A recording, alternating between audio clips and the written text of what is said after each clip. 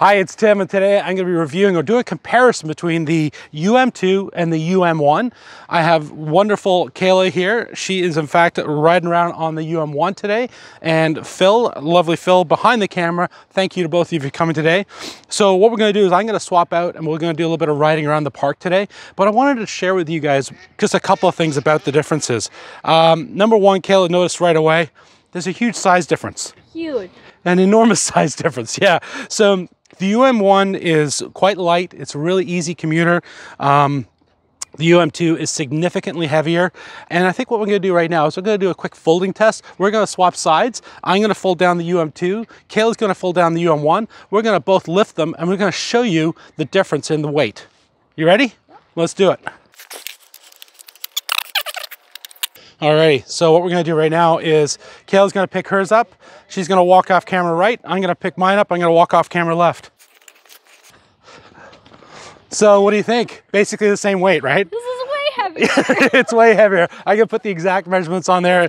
And we're actually gonna boogie off now, do some more uh, riding and testing and swapping out. I'm gonna share with you just more of the tests, what we like and what we don't like about the UM1 and the UM2. Coming up next.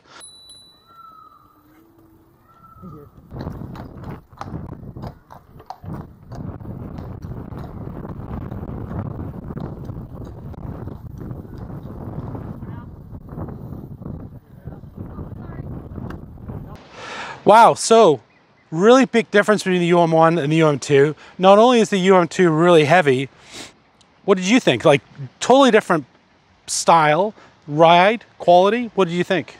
It's a little bit less bumpy. I noticed that the engine is a little bit louder, which I wasn't really used to after riding the, the You found, the, oh, okay, so yeah, it's quieter. It's quieter. What do you think about the ride quality?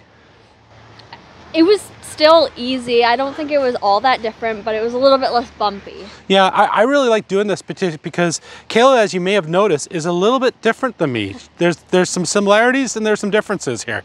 And that's really important, right? Like, so when you pick that up, this was like really heavy. Yeah. And that's not something you want to run up the stairs with. Well, I live in a on the third floor of a condo building. I would not be okay with carrying this. Right. So this was much, much better for that. Yeah. Acceleration, power, this is probably a little bit more powerful. This has a little bit more gumption. Sounds good. The lighting, uh, I think the lights you're gonna see at the front, there's light at the front up here, and on the UM2, the light is down here. Braking wise, we both have regen braking, which is nice, and a manual brake, and a nice little bell. Biggest difference, yeah, uh, the biggest difference for parking it is the kickstand. The yeah. kickstand, of course, has the sort of more moped style kickstand with this, very stable, and it's not gonna move over. This is a very traditional kick scooter stand, just the little one on the side. You know what, they're both great. Um, I find this one just too, it doesn't have enough power for me. I don't know what it is. Maybe I'm a little bigger than you. So, so that's probably why, and that's why the UM2 is a better fit for me. Um, I find the height of the handlebars are very similar uh, when you actually take into consideration the actual height of the deck.